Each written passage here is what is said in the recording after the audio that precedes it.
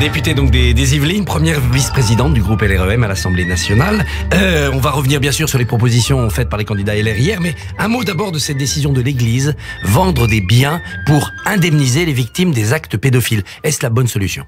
Déjà, peut-être rappeler que euh, ça a été un grand choc finalement de, découvrir euh, le compte rendu du rapport Sauvé et l'ampleur finalement de, ces, ces, sujets de la pédocriminalité au cœur de l'Église. Et je crois que ce qu'il faut saluer, c'est le travail justement qui est engagé par les instances religieuses pour à la fois indemniser les victimes, prendre en charge, reconnaître les crimes qui ont pu être commis. Et je crois que voilà, c'est une initiative qui est un peu inédite et la vente des biens justement permettra finalement, ce n'est pas la réparation morale euh, ou psychologique de, de, de, de, ces victimes qui sera impossible, mais qui permettra en tout cas de prendre en compte, je pense, une partie du traumatisme de, des, des, victimes de, la pédocriminalité au sein de l'Église. Alors ce soir, le président de la République va nous parler d'épidémie. Alors on ne sait pas trop ce qu'il va annoncer, mais pour vous, conditionner le pass sanitaire à la troisième dose, notamment pour les plus de 65 ans, est-ce que ça serait légitime? Alors, c'est euh, le président de la République qui décidera, à, à la suite d'un conseil sanitaire, euh, les mesures qui doivent être prises pour endiguer la crise. Ce que l'on constate, c'est qu'effectivement, euh, il y a euh, une petite reprise épidémique, malgré euh, l'engagement des Français dans la lutte contre cette, cette crise. Et en ce moment, nous sommes dans une démarche pour inciter notamment les populations les plus fragiles à euh, aller vers, euh, vers une troisième dose. Je crois que le message du président de la République euh, ce soir, il doit être celui-là, euh, comme il a pu euh, être le 12 juillet, un message euh, finalement d'unité nationale pour que nous combattions ensemble cette, cette épidémie.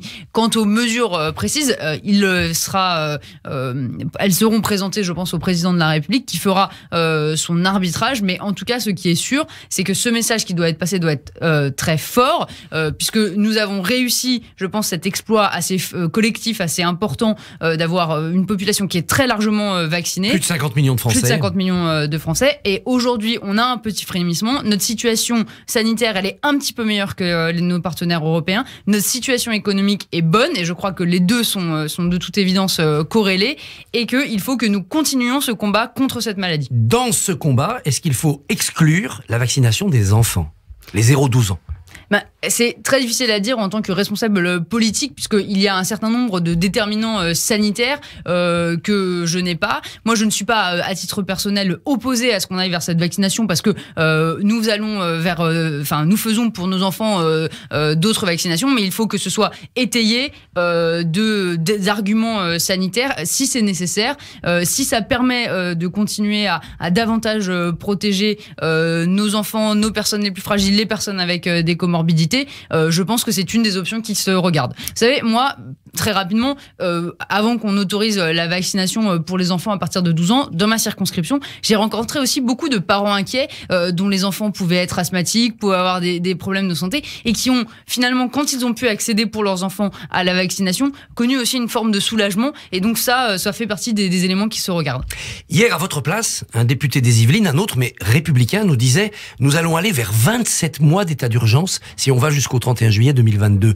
Est-ce que votre majorité abuse de son pouvoir pour maintenir le pays sous cette coupe de l'exécutif?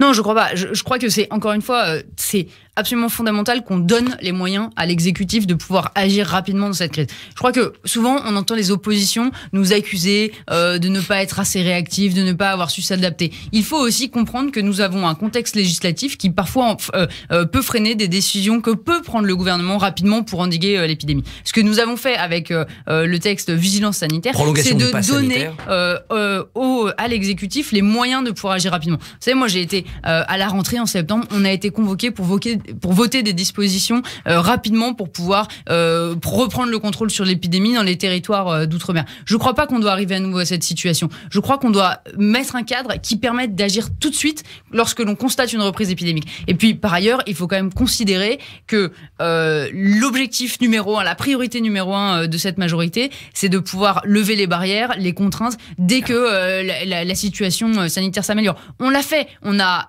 dès qu'on a pu dans certains départements dire les enfants peuvent retirer leur masque à l'école, nous l'avons fait. Et puis on recule. Et puis on recule parce que l'évolution de la situation sanitaire euh, évolue aussi. Alors entre et ça, la... c'est un paramètre à prendre en compte. Entre la pression de l'épidémie qui continue et la nécessité de pousser la relance économique le plus loin possible, les réformes, c'est fini pour ce quinquennat.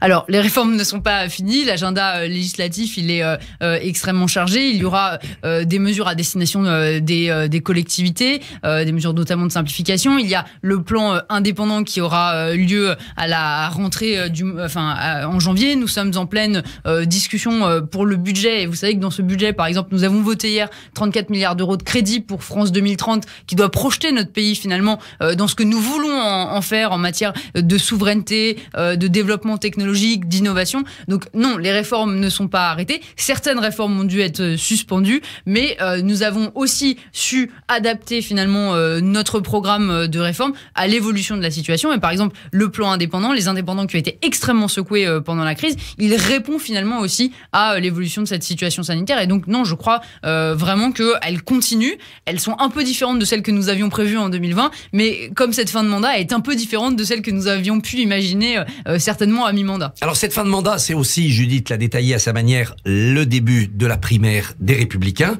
Vous êtes passé dans votre jeune carrière par l'UMP. Est-ce que vous retrouvez là la droite? Est-ce que la droite revient? Alors non, je retrouve pas la droite. J'étais assez frappé hier en écoutant euh, ce débat avec euh, beaucoup d'intention et beaucoup d'intérêt euh, par le décalage du discours des, républicains. Moi, j'avais l'impression à titre personnel euh, que ils, ils arrivaient de l'espace, que ça faisait cinq ans qu'ils avaient quitté la Terre et qu'ils étaient seulement en train de, revenir et qu'ils étaient restés dans des paramètres de, de 2017. Ils parlaient de baisse d'impôts, mais nous l'avons fait 50 milliards d'euros, 25 pour les particuliers, 25 pour les entreprises.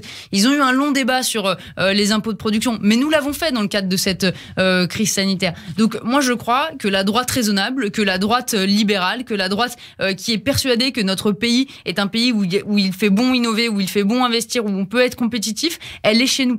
c'est, les, le, le, débat des républicains était certes de très bonne tenue, mais avec des paramètres et un discours avec cinq ans de retard. Alors c'est une droite peut-être plus à droite, elle marque son terrain sur le régalien.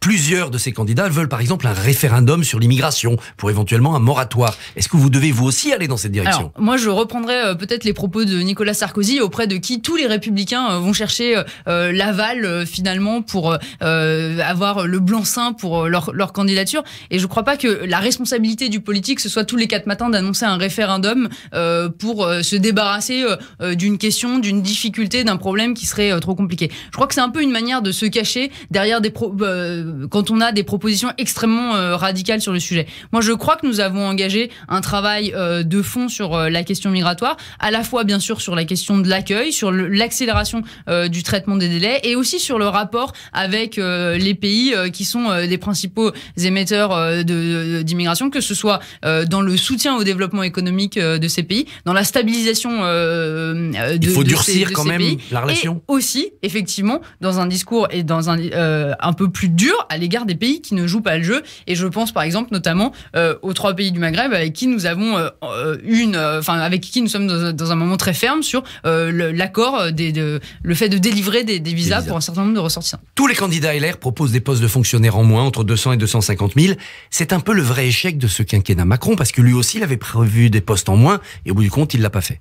Moi, je crois que il faut sortir de ce discours euh, de dire euh, uniquement euh, la réduction de la dépense publique passe uniquement par la réduction du nombre de fonctionnaires. On était dans une, espèce hier de surenchère au nombre de fonctionnaires qu'on va supprimer. Personne d'ailleurs n'a repris la proposition de François Fillon de 500 000 fonctionnaires en moins. Moi, je crois que l'enjeu n'est pas tant de savoir si combien exactement on a de fonctionnaires, mais est-ce qu'on est capable de faire rentrer dans la modernité la, la, gestion de l'État? Est-ce qu'on est capable d'aller là où il y a des besoins remettre des fonctionnaires? C'est-à-dire décentraliser mais être, être en capacité de déconcentrer plus que de décentraliser. Euh, je ne crois pas que ce soit la question euh, du pouvoir des collectivités territoriales tant que euh, de, de la représentation de, l'État dans les territoires. Moi, j'ai été très frappé par une chose, c'est que quand on a géré cette crise sanitaire, beaucoup d'échanges avec les entreprises, puisque c'est la commission à laquelle j'appartiens, beaucoup nous ont dit, mais c'était incroyable finalement la réactivité des préfectures dans les dispositifs et le déploiement de l'accompagnement de, des directions générales des finances publiques dans les territoires.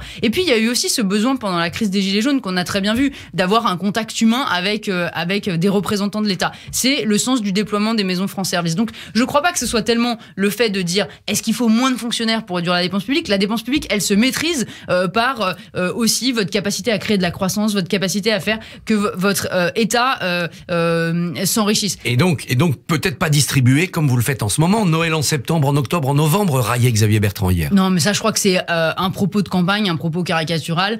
c'est comme quand j'entends les républicains nous parler de l'endettement du pays, c'est comme si on ne considérait pas la situation dans laquelle nous nous trouvons.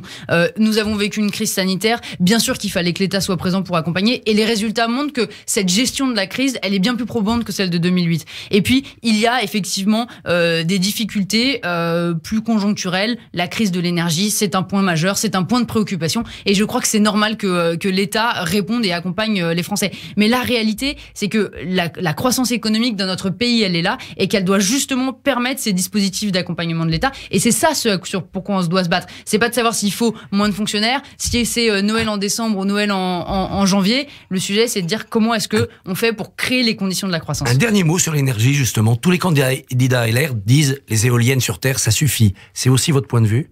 Moi, je, ne suis pas dans un discours aussi radical. Je crois qu'il y a une logique de mix énergétique. En revanche, ma position, euh, et je crois que c'est celle qui est portée par euh, le président de la République également, c'est de redonner aussi toute sa place euh, au nucléaire. Je crois que pendant trop longtemps, on a travaillé, un peu, on a eu un discours qui était sur la, le, détricotage de notre filière ou l'abandon. Moi, je crois qu'on peut totalement avoir des énergies renouvelables qui soient développées, mais avec aussi le soutien d'une filière nucléaire. Le rapport RTE pour ça est très intéressant. Il objective le débat et il rappelle la nécessité d'un équilibre entre et le renouvelable et euh, des énergies euh, euh, plus traditionnelles comme le gaz ou le nucléaire. Marie Lebec, merci, bonne journée.